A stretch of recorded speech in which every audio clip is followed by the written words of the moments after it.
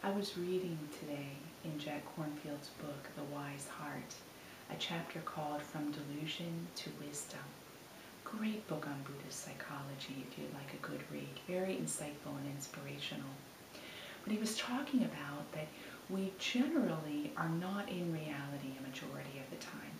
That we walk through our day just touching it a little here, a little there, but operating way more from a place of delusion in our lives and in all our relationships with people and places and things. He was pointing out that the Buddha, at his point of enlightenment, wrote his very first poem about how he saw delusion for what it was. The Buddha writes, this is right after his point of enlightenment, O house builder, thou art seen at last. The ridge pole is broken, the rafters are shattered. No more shall you build this house of sorrow. Buddha came to a point of complete freedom, mainly because he rooted himself 100% in what was. But it got me to thinking, what was it that led all the way up to that point for the Buddha? What was the spark within him? What was the belief that kept him sitting without pause under that Bodhi tree until he reached enlightenment? I mean, his level of determination and courage and strength are amazing if you think about it. We have the fruit of him sitting under that Bodhi tree.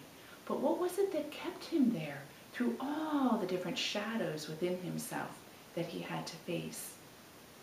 And that's my question to you today.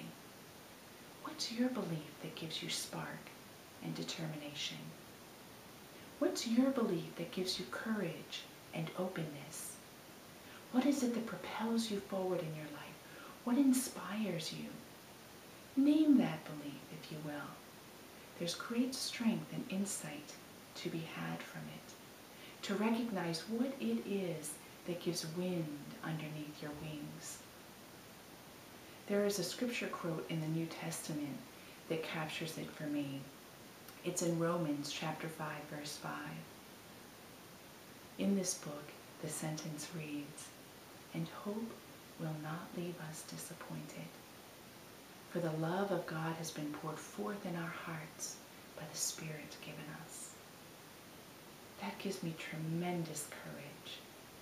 It resonates with me. I can feel it. I can feel that at my core there is the Spirit operating. And it's come forward because I've been loved into existence. That there is a love in which I live and move and have my being.